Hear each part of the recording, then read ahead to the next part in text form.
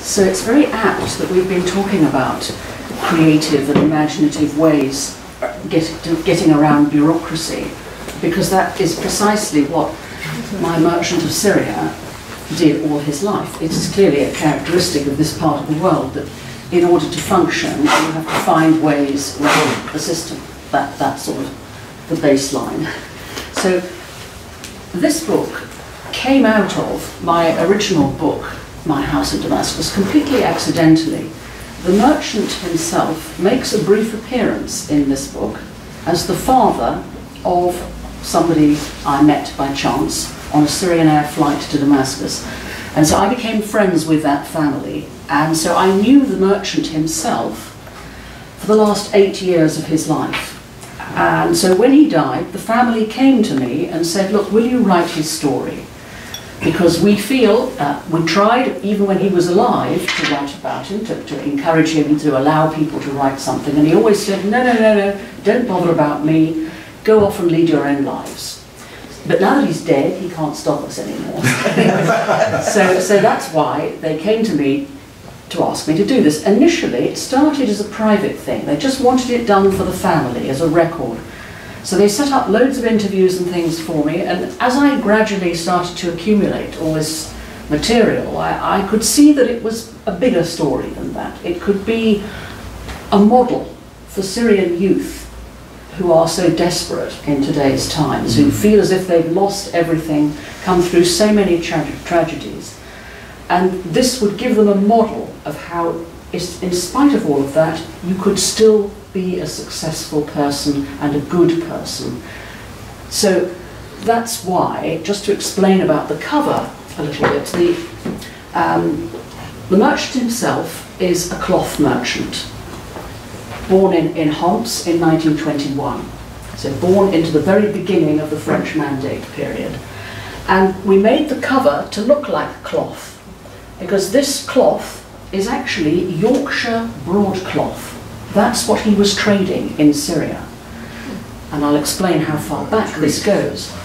And uh, the lettering is designed to look like stitching, like embroidery, and the, the kind of vignette is meant to suggest constant, constant regeneration, constant revival. So that's why we called it A History of Survival as the subtitle.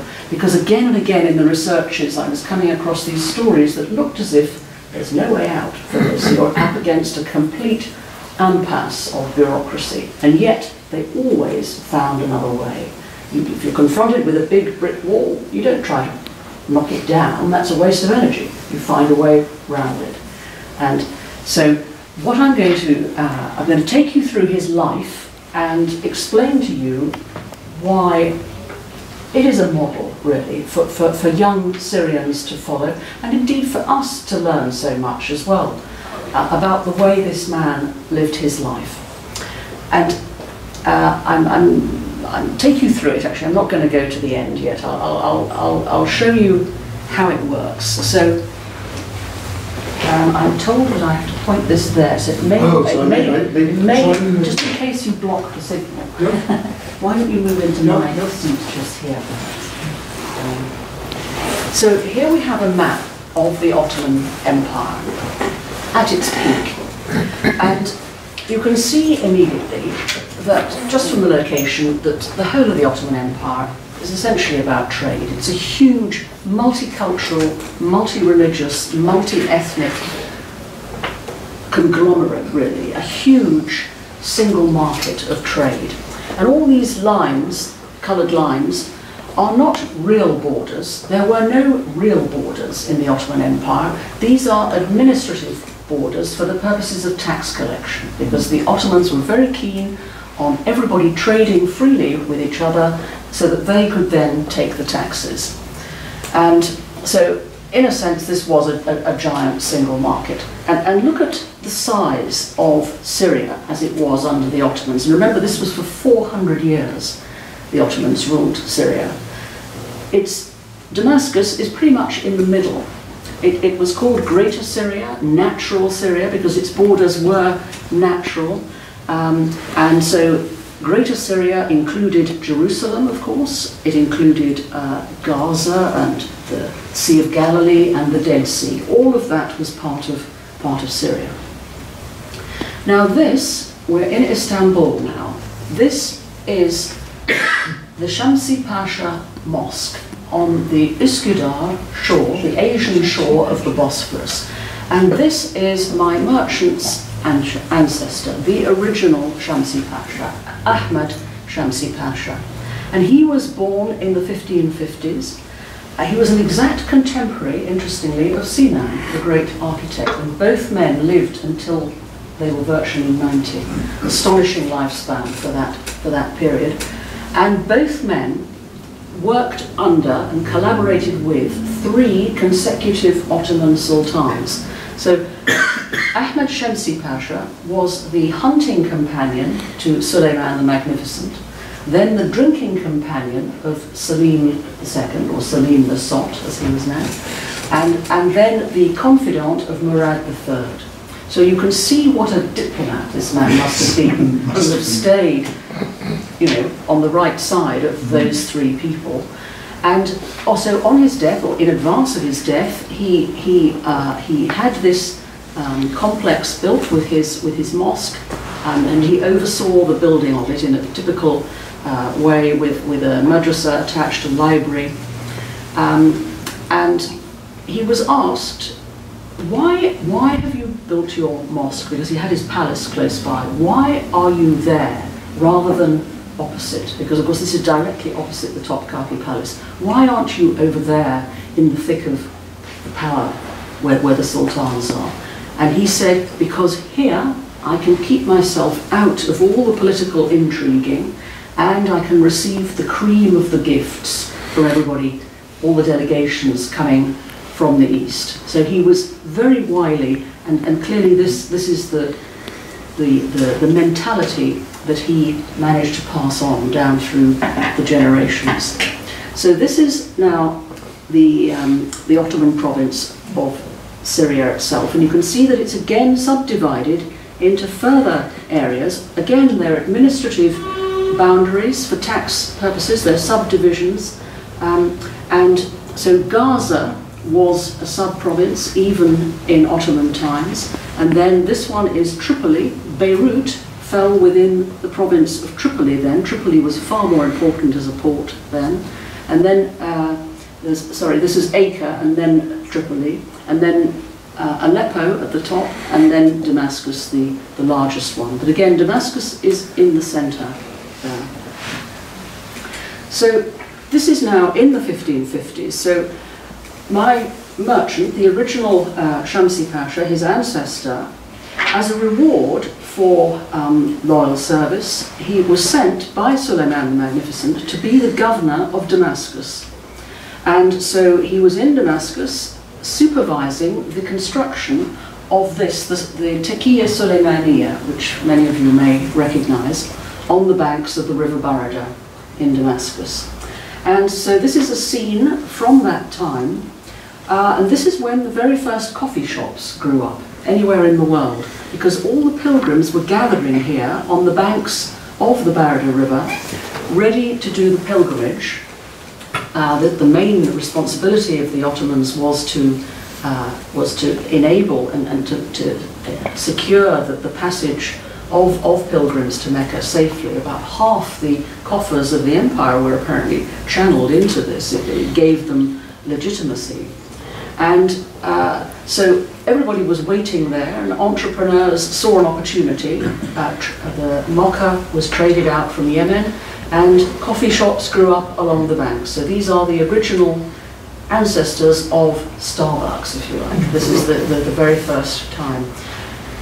And, and here is uh, a Hajj procession, the, the, the pilgrimage, setting off from, from Mecca, sorry, from, from Damascus, heading out and the women are watching from the rooftops there, and everybody went together because it was far too dangerous to try to make this trip alone. You, would get, you'd get uh, looted, you'd get kidnapped, you know, you'd get, you'd get everything stolen from you. And there's a rather nice story I came across of a group of Iranian pilgrims who came across wanting to join the Hajj, in Damascus, but they, were, they got the timing wrong and they arrived two days late. So it had left without them. So they thought, well, we'll wait till next year then. and so they just stayed in, uh, in Damascus uh, and waited till the following year. Now this is in the souk in Damascus.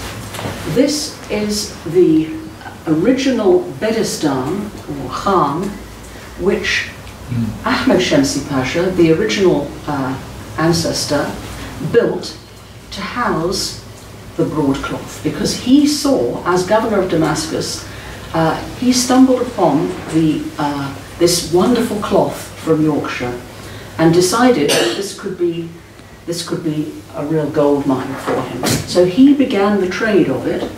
Um, this is in the 1550s. Just imagine that Yorkshire broadcloth is being traded out to Syria then. This is actually part of a bigger picture of the Elizabethan Brexit, if you like. Elizabeth I excommunicated by Europe um, needed to find other markets for her for, for British goods, and um, historians have done programs about this, believe it or not. It, uh, I, I, explore it a little in, in the book as well. And uh, so he decided that this commodity was so precious that he had to build a stone-domed khan to protect it, to protect it from fire, from looting. And so it's another example of how um, commercial uh, necessity drove invention, if you like. But, so this is the very first example of a khan with a stone dome. Before that, they'd always been wooden. But he really wanted to protect his very, very valuable cloth inside. And this is still here. I saw it, uh, I took these photos in, in April this year. Now, this is the merchant. Now, we're coming to my actual merchant now. That was the, the history, if you like, how he got to be where he is now. So here he is, aged six. Look what he's wearing, broadcloth, because everybody in those days wore a suit of, of English broadcloth, and it, last, it lasted supremely well. Um, at this age, he's in Homs. The population of Homs is one-third Christian, two-thirds Muslim, and so he's going to school and is taught by nuns. It's mixed, boys and girls together, uh, completely normal. This is what's happening all over Syria. Um, the, best, the best schools are run by nuns, and so that's where the, the, the, the children whose parents care more about their education will, will send them there.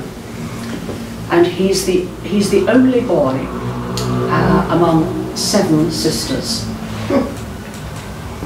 Now this is a map that the French drew under the mandate to try to work out all the different ethnic groupings, relig religious and ethnic groupings in Syria. So this is an extraordinary map which hasn't seen the light of day for really a very long time. Um, the original is in the Institut Français in Damascus, and it was drawn up in 1935. And the French sent uh, soldiers off into all the villages to, to compile this information. And it gives us a fascinating snapshot mm. of how everything was in 1935. Um, the areas where there's nothing shaded in is because that's largely desert and largely uninhabited. But you can see from this that um, the majority population is Sunni Muslim. That's roughly 70% of the population, um, which is pretty much still what it is. Uh, and then all the different other groupings are shown. So the, you have the, the Shiites, the Alawites, the Chechens, the Ismailis, the Druze, the Yazidis, the Turkomans, the Kurds, the Turks, the, the Turkmens, the Maronites, and then the Greek Catholics, the Greek Orthodox, the Syrian Orthodox, the Armenians, and on it goes. There are 17 different denominations of Christianity, all still active, believe it or not, in, in Syria.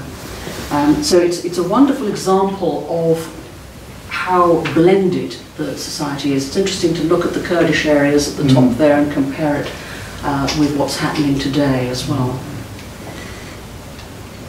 So we're back to Homs now. This is the entrance to the main mosque in Homs. And one of the things that came out in, uh, in my researches was how religion and commerce go side by side. It doesn't matter what religion, uh, Islam, Christianity, whatever it is, um, religion and commerce are the two constants in people's lives. Politically, everything is total chaos, turmoil, all over the place, currencies all over the place, impossible, I mean, the opposite of a stable business environment. So the two things that people learn to do um, are to stick to the constants. And in Homs, this is the entrance um, to the other entrance to the mosque, because the mosque is right beside the souks, so that at prayer time, the owners of the shops can go straight in to pray. As you know, Muslims pray five times a day, so they will break off and, and go to pray. And in that time, the Christians would look after the shop of the Muslims. It's completely normal. Um, the shop that my merchant had, he had Christian neighbours on either side. And on Sunday, when the Christians went to church, the Muslims would look after his shop for him. This is completely normal all over Syria, just the same. Now, this is the merchant aged 12. You can see he's still got his suit, but now he's got a tie, which means he has become an adult now, because, tragically, his father died very suddenly when he was 10, and he was catapulted to become the head of the household. He had seven sisters and the mother to look after suddenly. And so that was the end of his schooling, age 10, so he remained actually semi-illiterate all his life. Um, and he had to go and look after the shop, the textile shop in the souk, and try to support the family. The uncle, um, he had an uncle who helped him slightly, but who was a slightly dubious influence and wanted to keep all the best customers for himself. And so there was a, a bit of strained relationship there.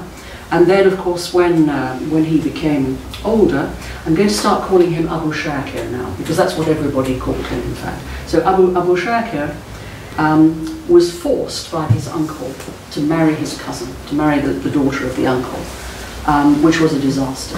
the first cousin marriage like that is very common in this part of the world, and it's a way of keeping the money in, in the family, of course, it's what it's all about.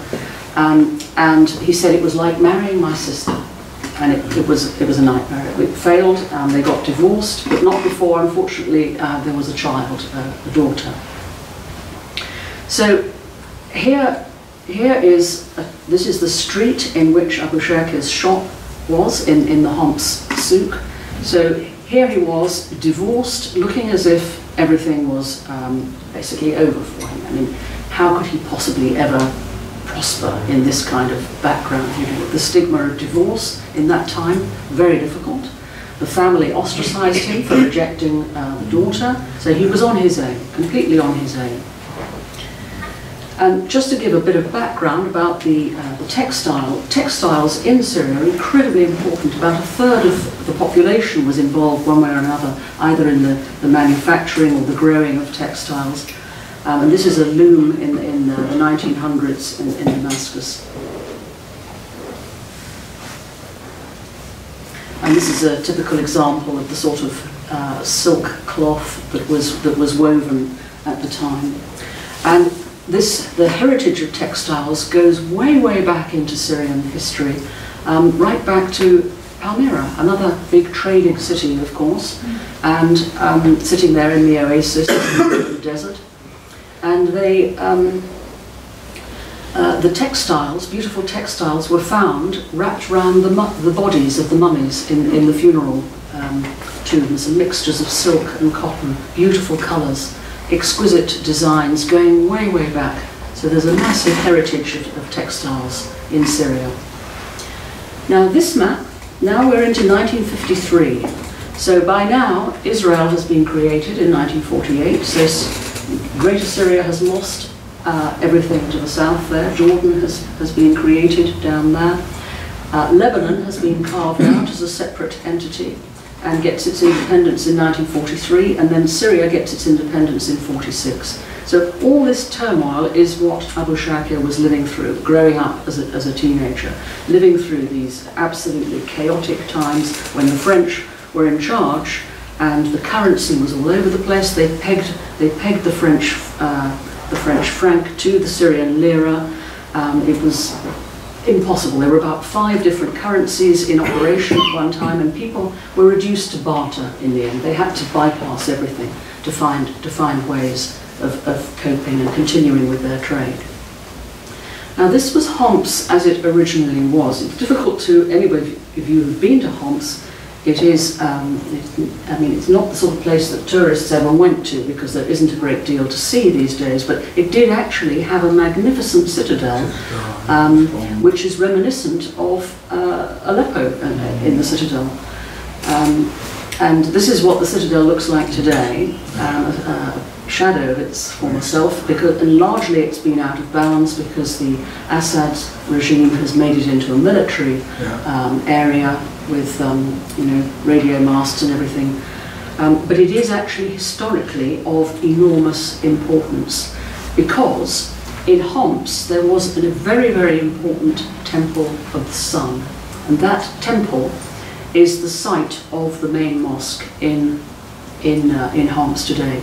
And one of the accidental things that came out of my research is actually in, in, in learning about Homs and this very famous temple was that it was a great place of pilgrimage and um, the Roman emperor on his way to, to put down the um, rebellion of Queen Zenobia in Palmyra um, asked the oracle whether he would win and he was told yes you will win. So when he did win he came back and um, poured lots of money on, onto the um, in, into the, the, the extra buildings around around the temple, and it became a huge and very important pilgrimage site. And of course, a pilgrimage site means money again. It means lots of people coming, lots of people buying souvenirs. Um, and what gradually happened was that the the temple, which was a temple to the sun god in, in Homs, gradually the Romans took, took this into Sol Sanctissimus, Sol Invictus, and you can see here how he was represented. He's got a halo, which we later, of course, associate with Christianity. You can see how it all merged. And then the, um, the eagle then of, of uh, the Bel, the main god of Palmyra. All, all these things merged. And, and then you can see how um, this was gradually taken into Christianity, that the, the ground was right for monotheism essentially because all the gods were merged into this sun god. And so this is now um, the main church in Homs. And like all the, all the churches in, in this part of the world, they, they, they, very often they are built on, on the same foundations as the uh, Temple of the Sun, which is why they face east. Um, all of this just gradually got absorbed and, and moved almost seamlessly. So here, th these are the frescoes inside that, that Homs church on Mazinar, and you can see the halos there, the typical iconography that we're used to in, in, in all our churches. And this is the, the main mosque, this is the actual mosque that was the original Temple of the Sun. And when the Crusaders came, they turned it into a, a cathedral, and for 400 years here, Christians and Muslims shared this space. In Damascus, in the main Umayyad mosque, they shared it for 100 years. In Homs, they shared it for 400 years. Absolutely astonishing. But this is, it seems astonishing now, but we must remember that this was normal at the time, completely normal. So, food, the markets, this is so important um, in Syria, and for, I, of course, people don't have the chance now to go to Syria, but I'm sure many of you have been and, and know, the, know the country. It is self-sufficient in food. Syria produces all its own fresh fruit and vegetables. It actually has a lot of fertile, um, fertile soil, river valleys of, around the Orontes and, and the Euphrates. Um, and food is a very important part of Syrian culture and was vitally important to my merchant, Abu Shakir the food everywhere, the, the, the, um, the herbs and the spices, all of which of course are, are then traded as well. He, as well as trading the broadcloth, he very often had to trade with herbs, you know, doing barter things. So he was trading pistachios for cloth, um, you know, special herbs for cloth, all, all, all different ways of getting round the, the complex bureaucracy of the time. So, what happened to him there? So he, he, as I explained, everything went wrong for him. He was sitting miserable in his shop in, in Homs, divorced, looking as if he had no future. A friend of his father's passed by, saw how miserable he looked and said, come with me opened his office safe and said, uh, here you are, look, I've just sold all my sheep. He was a sheep trader. I've sold, I've sold them, I've got my safe full of money. I don't need this money for another six months. You take it and go and buy yourself some, some cloth. So with that money, Abu Shakir, no receipt by the way, nothing, nothing written down. This is again, completely normal, I have to say, in this part of the world. When somebody's in trouble, you help him. The archives showed it time and time again. So there was a Christian um, merchant in the souk, for example, in, in Homs, who was going bankrupt. The, the Muslim merchants around him said, we don't want him to go bankrupt. It's, it's a bad reflection on us. We'll help him. So they lent him money until he was up on his feet again so that he could become part of the community. This, is, this was just normal, but it was, a, it was just part of the shared community responsibility, the complete opposite of the sort of cutthroat culture that we're used to today where you want to trample your, your, um, your rival, you know, you want to crush him rather than help him. So the, the mentality was so different. So, so this, this gesture um, of, of help was really what, what transformed his life. So with that money, he was able to go to Beirut, bought a huge quantity of cloth, and became um, a major merchant, was able to start trading beyond Syria's borders. It coincided with um, very difficult times, the, the rise of the Ba'ath Party in Syria. It became very difficult to be a successful entrepreneur unless you were going to be very corrupt. Um, so in order to avoid all of that, he kept his shop discreetly open in Homs, but actually did all his trading from the free zone here in, in Beirut, the port, the port zone. And we built everything up, was doing incredibly well, and then the Lebanese Civil War broke out in 1975 and his warehouse, the biggest warehouse with, with textiles anywhere in the Middle East, was burnt and looted, and he lost everything again. So his life, as you can see, you know, personal tragedy, um, twice he lost everything. So what he decided to do at this point was to come to this country. He decided he needed to secure the source of his cloth. So he came to this country in the late 70s and in 1980, he bought the mill in Bradford, Brighella Mills, which was the source of the broadcloth that he had always been trading. Bradford at that time was in, in, a desperate strait. Most mills were closing because of the competition from textiles, um, you know, synthetics and jeans and everything. Abu Shakir had a lifelong hatred of jeans, incidentally. All his grandchildren were forbidden ever to wear jeans. And um, so he saved this one mill by giving it new customers in the Middle East. And so this mill uh, is, is still exists to this day. It's the only mill that is still functional to this day. And this is how he ended up in the boardroom. Uh, this picture hangs in the boardroom there. He's about 60. Um, and he, he, he was a man of very few words. Uh, one of his friends said he was the only, only man I ever knew who was fluent in five languages without saying a word. he would just size you up, basically. He just, he just knew, he had an instinct. He didn't have to say very much. Um, but he had a, a, natural instinct about who he could trust. And, and he continued, I mean, that enormous gesture of trust by the sheep trader to him was something he continued in his own later life when he had money that he was able to lend. He did so. He, he, he lent young people whom he trusted enough money to get themselves up and running. And he said, he said they never lost money that way because it was all based on trust. This is Abu Shakir and the lady mayoress of Bradford planting a tree outside the mill in, in Bradford. And they had their own uh, stationery printed there, Shamsi Pasha Limited, Wool Exchange, Bradford. And, but Abu Shakir, by this stage, having, having established all that, having secured his, his source, if you like, the business group, by this stage he had four sons, um, and they gradually took over the business. He passed everything over to them, and he wanted to go back to Syria. In spite of everything, in spite of the politics, he was still pulled back to his homeland. He had a very deep connection to his roots. And he'd kept his little shop in the Hom- in the souk all those years, and he wanted to go back there and live the rest of his life out there. And so here he is in his element, smoking his shisha. He was a heavy smoker all his life, never touched a drop of alcohol, but he smoked all his life and still made it to 90. 92 in fact. And you can see all the cloth there piled up. And it was the f- one of the things that pulled him back was actually the food too. I mean, he, he although here he tried to go to fruit markets and buy things in bulk, and but it was never the same. He, he always talked about you know the wonderful food. Homs was favourite for it, uh, famous for its uh, aubergines there.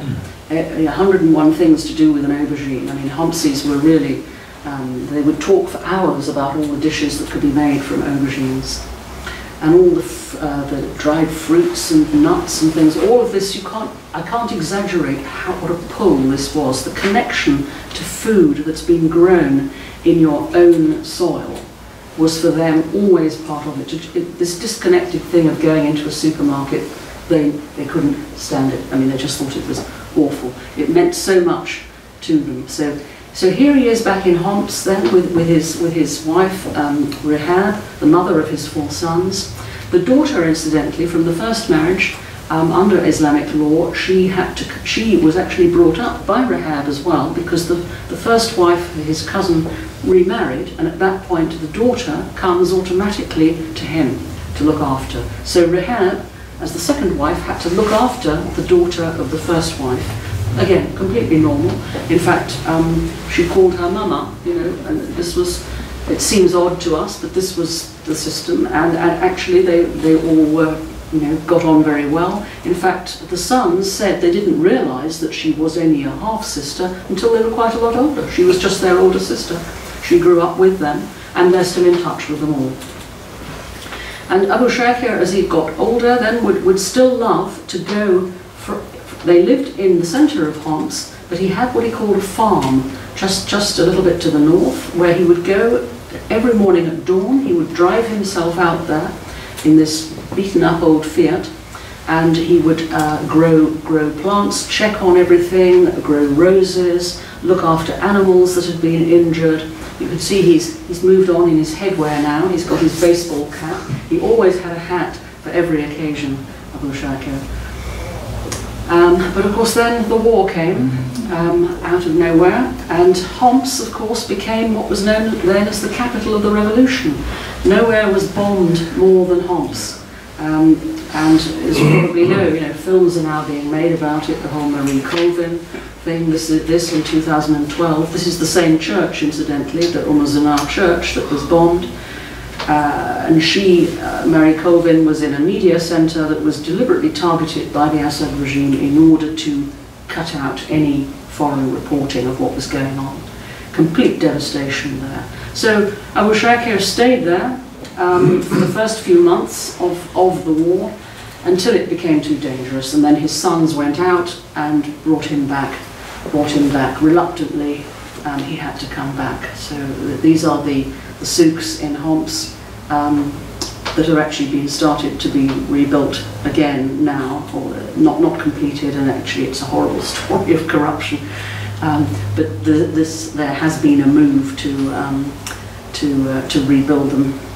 But Abu Shakir was left in uh, in London, back in London again, in the little flat that he lived. I mean, all this time he was never an extravagant person. I mean, he lived in a little two-bedroom flat in central London, um, very discreetly. But then he would go to the mosque in Regent's Park, and instead of his farm north of Homs, he had to make do with feeding the pigeons. there.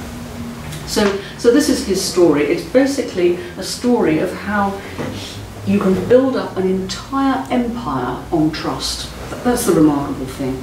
And his customers, I mean, he went for really high level, high end um, uh, cloth and weave. So the Queen and Prince Philip sit on Hield, the name of the firm is called Hield Cloth in the Royal Bentley, believe it or not.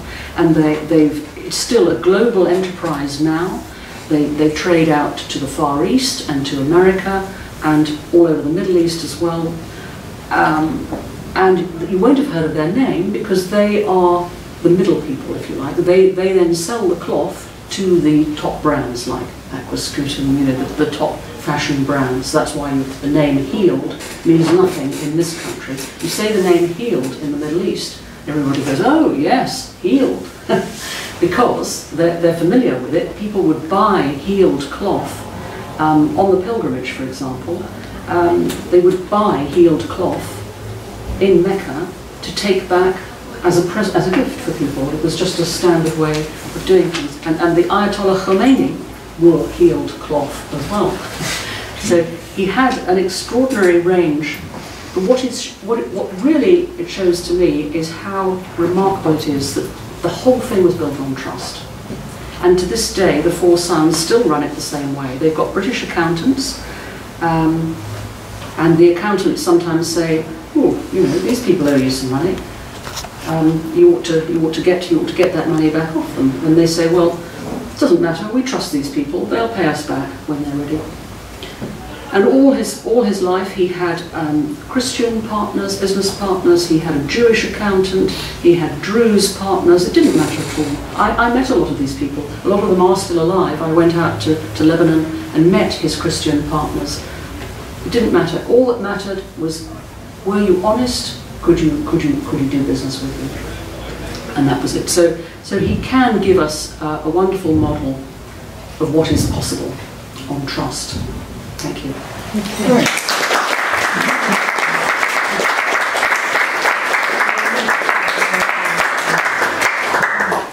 Um, just one other thing, actually, I wanted to mention that. Uh, so I've got a cop- I've got the My House in Damascus book here, which incidentally supports uh, a special charity for Syrian higher education, and the Merchant of Syria one.